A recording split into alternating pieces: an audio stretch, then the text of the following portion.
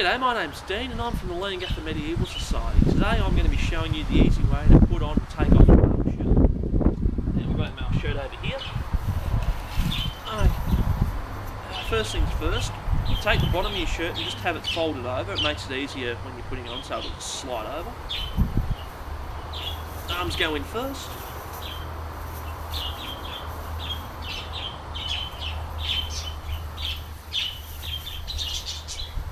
And once you've got it supported nice and solidly on your arms, grab the back, put your head through, lift your arms up and just let it slide over.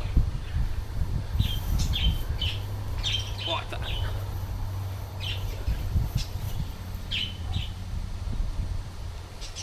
Now, take a little bit of the weight off your shoulders. Belts come in very handy. They also look make it look a bit snazzier too. There. Now, when buying a mail shirt, uh, go a little bit bigger than you think you're going to need. Uh, mostly it'll make it easier to get on and off. Also, if you buy one that's too small, it's a lot harder to resize that than one that's a little bit too big. Uh, take off a mail shirt. Most people tend to treat them like they're like they're a heavy jumper, and they're trying to grab it up from the top. All you're going to do trying that way is probably injure yourself and waste a lot of time.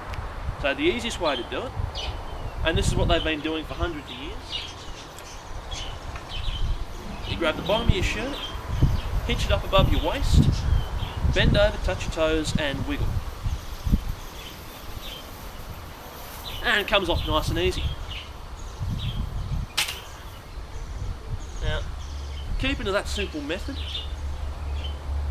you're going to be able to get it on and off a lot quicker, you're not going to hurt yourself, and you're going to have a lot more fun with it than you would doing it otherwise.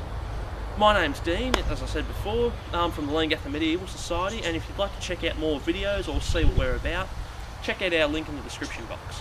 Thanks.